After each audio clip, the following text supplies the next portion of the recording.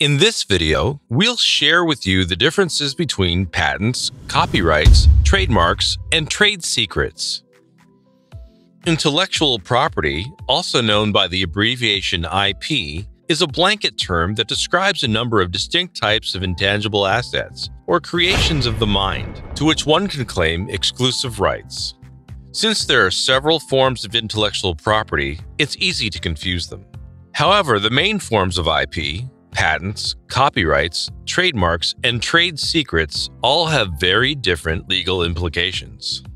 If you're seeking an intellectual property expert to provide litigation support, make sure they have expertise in the specific form of intellectual property that's applicable to your case. The following are some key differences between the four primary forms of intellectual property. A patent is a set of exclusive rights that a sovereign state grants an inventor or their assignee in exchange for public disclosure of their inventions. Patents are issued for certain lengths of time that depend on national laws. To receive a patent, an inventor needs to file a claim that meets the minimum requirements of patentability. These requirements often include novelty or originality and non obviousness. Once a patent is granted, it prevents others from using, selling, manufacturing, or distributing the invention without express permission. A copyright grants the right to copy a work of intellectual property. It also assigns credit for the IP. Though copyrights were originally conceived as a way for the government to restrict printing, they've become a means of protecting authors' rights to profit from their creative endeavors. In addition to written works, copyrights can be assigned to other forms of IP, including songs, films, and works of art. Copyrights are issued for a finite amount of time, usually between 50 and 100 years from the time of the author's death. Some of the exclusive rights that a copyright affords an author include the right to display the work publicly, transmit or display the work by radio or video, to produce and sell copies of the work, and create derivative works for the original.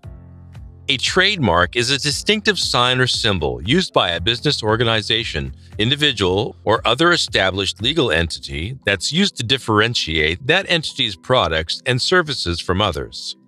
Trademarks are typically a word, phrase, design, or symbol and serve as a badge of origin for a brand in order to communicate that origin to consumers. There are two symbols associated with U.S. trademarks.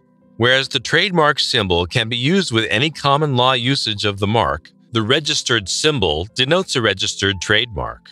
The registered trademark symbol can only be used when the trademark has been registered with the U.S. Patent and Trademark Office. A trade secret is a design, formula, process, or other piece of IP that's not known to the general public, which provides an economic advantage over competitors businesses can take steps to protect their trade secrets, including requiring employees to sign non disclosure agreements or contracts with non compete clauses. In the US, trade secrets are not nearly protected to the same degree as patents, trademarks, or copyrights.